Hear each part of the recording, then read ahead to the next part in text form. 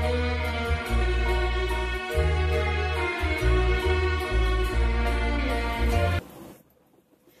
Everyone मेरा नाम दीप्ति कश्यप है। मैं राष्ट्रीय महिला पॉलिटेक्निक बीकानेर में costume designing and dress making विभाग में वरिष्ठ प्रवक्ता के पद पर कार्यरत हूँ।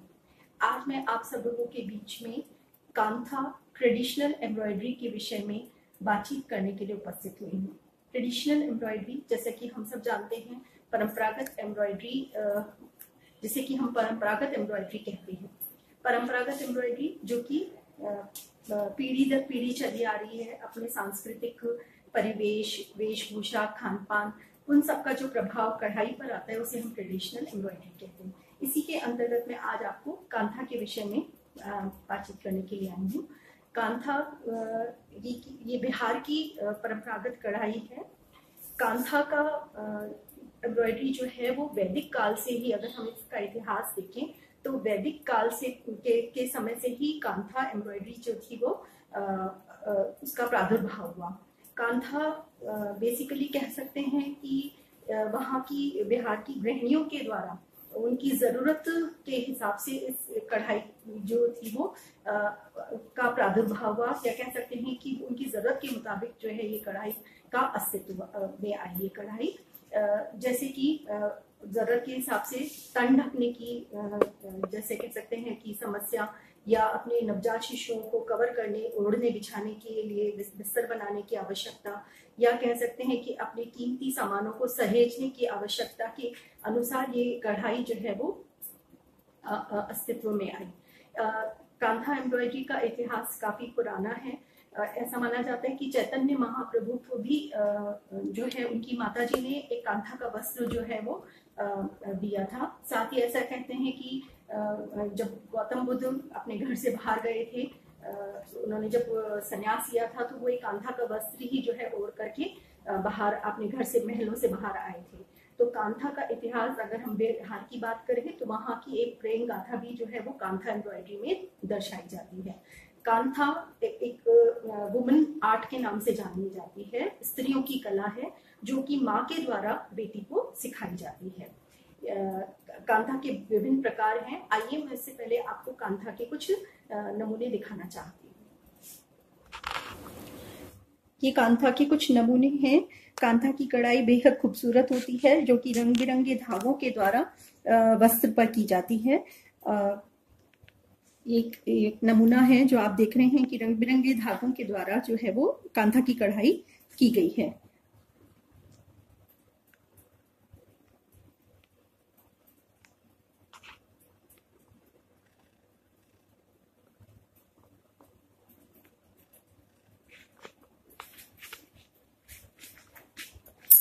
एक और कांथा का नमूना मैं आप सबको दिखाना चाहूँगी, जिसमें कि फूल पत्ती और कांथा की कढ़ाई जो है, विशेषकर वहाँ की महिलाओं के जो दैनिक रूटीन में उनका जो व्यवहार या कह सकते हैं उनके दैनिक रूटीन में जो भावनाएँ आती थी। उनको व्यक्त करने का एक माध्यम था। ज़िंदगी के उतार चढ़ाव, खुशी, गम को वो अपने धागों की सहायता से कपड़े पर निकाला करती थी। ऐसा माना जाता है कि वो अपने संपूर्ण जीवन को भी अपने इन धागों की सहायता से कपड़ों पर कढ़ाई के माध्यम से अपने जीवन के सारे अनुभव को उतारा करती थी। और इसी कारण कांथा के जो नमूने हैं, वो एक दूसरे से बिल्कुल अलग हुआ करते थे। ये बेहद ही खूबसूरत कढ़ाई है, जो कि वहाँ की औरतों के द्वारा की जाती है और जहाँ पर भावनाओं का व्यक्त करना, अपने अनुभव व्यक्त करना, अपने पूरे संपूर्ण जीवन काल के अनुभवों को कढ़ाई के द्वारा व्यक्त करना कांथा के अंतर्गत किया जाता था। आज हम लोग कांथा एम्ब्रॉयडरी के विषय में चर्चा कर रहे हैं।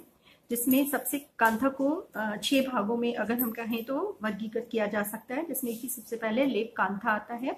लेप कांथा के अंतर्गत ओढ़ने के ओढ़ने वाले वस्त्रों को बनाया जाता था, जिस पर ऐसा कह सकते हैं कि कांथा बनाने की भी एक जो कला है, वो बहुत ही दिलचस्प और बहुत इंटरेस्टिंग है। इसको तैयार करने के लिए कपड़े की चार पाँच तहों को बिछा करके उस पर धागों की धागों की सहायता से चित्र जो है वो उकेरे जाते थे।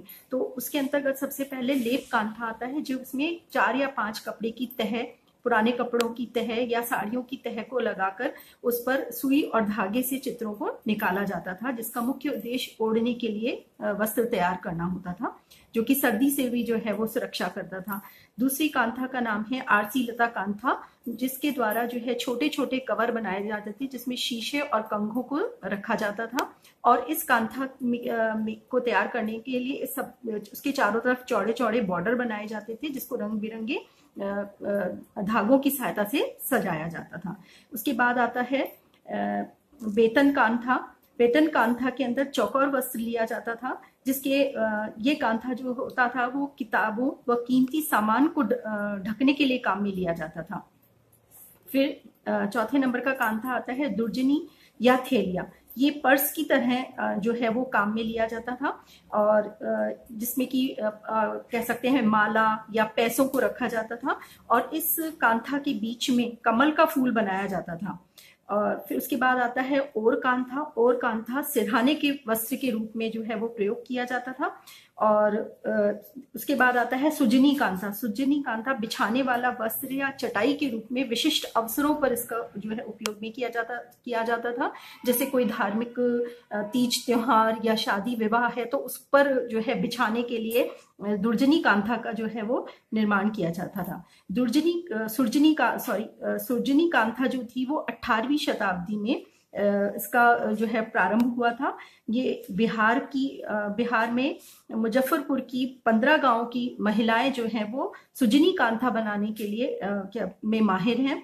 और सुजनी कांथा जो है, उसकी विशेषता ये कि उसके जो नमूने हुआ करते थे, हुआ करते हैं, उनको ब्लैक कलर की आउटलाइन से सजाया जाता है। नमूनों की जो आउटलाइन होती है, उस पर ब्लैक कलर का इस्तेमाल किया जाता है और बीच के भाग को जो है रंग बिरंगे धागों की सहायता से सजाया जाता है।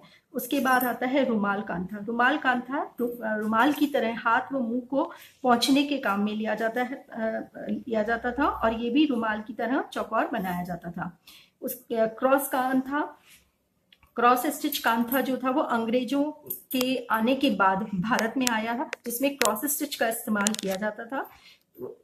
एक और कांथा लाहौरी कांथा ये राजशाही बांग्लादेश की महिलाओं के द्वारा जो है, निर्मित किया जाता था। बांग्लादेश की जो राजशाही महिलाएँ थी, इस कार्य को करने में बड़ी निपुण हुआ करती थी और ये कांथा बाकी कांथा से अलग हुआ करता था। इसमें पानी की लहरों की तरह जो है, वो नमूने बने हुए होते थे। तो हम देख रहे हैं कि इस प्रकार जो है हमारे तकरीबन नाइन प्रकार के जो हैं वो कांथा कांथा एम्ब्रॉयडरी है। अब ये कांथा एम्ब्रॉयडरी जो है, वो बिहार की मुस्लिम और हिंदू महिलाओं के द्वारा की जाती थी, जिनको उन हिंदू और मुस्लिम महिलाओं की अपने भावनाओं को व्यक्त करने के लिए कांथा एम्ब्रॉयडरी का प्रयोग करती थी। तो उनके नमूने भी उनके अनुसार ही जो है वो अलग अलग हुआ करते थे। जैसे कि हिंदू महिलाएँ जब अपने नमूनों का निर्माण करती थी तो उसमें उनके जैसे कि कमल का फूल जो है वो सबसे ज़्यादा अधिक उनके नमूनों में पाया जाता था। कमल का फूल यानी कि माँ लक्ष्मी का प्रतीक, जो कि उन्नति शौर्य का चिन्ह माना जाता है, शुभता का प्रतीक माना जाता है। इसी तरह से मछली यानी मत्स्य का चिन्ह, जो कि समृद्ध जीवन को दर्शाता है। यानी कि एक एक समृद्धशाली परिवार जिसमें पर्याप्त भोजन की उपलब्धता दर्शाता है। और इसी तरह से स्वास्तिक स्वास्तिक जो कि शुभता का प्रारंभ करने का प्रतीक माना जाता था, निकाला उकेरा जाता था।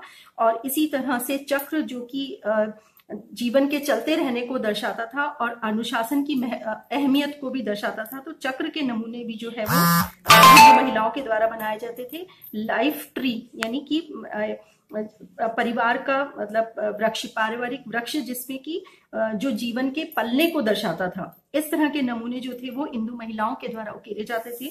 साथ ही मुस्लिम महिलाओं के नमूने जो थे, वो ज्योमेट्रिकल पैटर्न जो है, वो सबसे ज़्यादा पाया जाता था। जिसमें तारा चुटकी, लाठी और आईना खोपा, इस तरह के नमूने जो है, वो मुस्लिम महिलाओं के द्वारा ज़्यादा बनाए जाते थे। हिंदू और मुस्लिम महिलाएँ अपने नमूने में ज़्यादातर फूल, पत्ती, जानवर और पेड़, पौधों आदि दोनों ही तरह के नमूनों का निर्माण किया करती थी। और इसके अलावा कांथा में काम आने वाले जो स्टिचेस हैं, या हम कह सकते हैं जो मुख्य रूप से स्टिचेस काम में ली जाती है, वो रनिंग स्टिच काम में ली जाती है, जिसे कि कांथा में जो स्टिचेस काम में ली जाती है मुख्य रूप से चार स्टिचेस काम में ली जाती हैं। पहली स्टिच है रनिंग स्टिच जिसे कि हम कांथा स्टिच भी कहते हैं।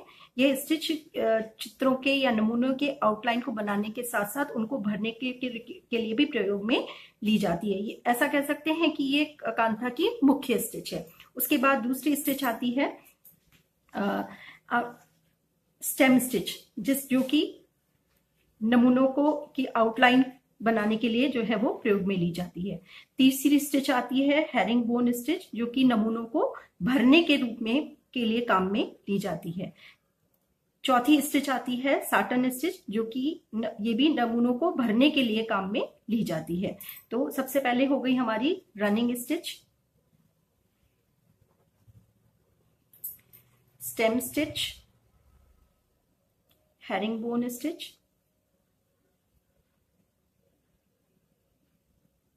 और साटन स्टिच इसके अलावा डार्निंग स्टिच